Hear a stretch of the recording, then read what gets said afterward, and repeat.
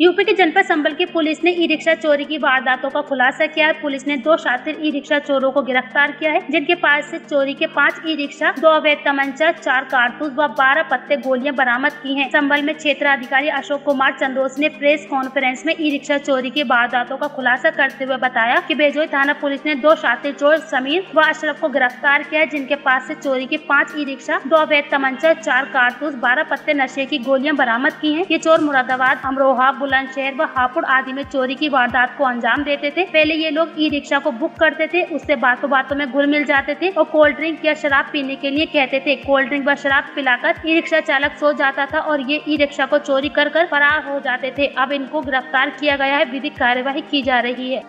E rickshaw Islamnagar चौराहे से book करा कर ले गए थे। और पवासा क्षेत्र में ले आके उसको कोल्ड ड्रिंक पिलाए। और कोल्ड ड्रिंक में लोग जहरी नशीली वस्तु डाल के उसमें पिला देते हैं। जिससे ये चालक भी नशे में हो गया और नशे का जब असर हुआ तो ये नींद में हो गया। उसके बाद ये दोनों जो अभियुक्त हैं, ये उनके ई रिक्शा को लेके वहाँ से चले गए।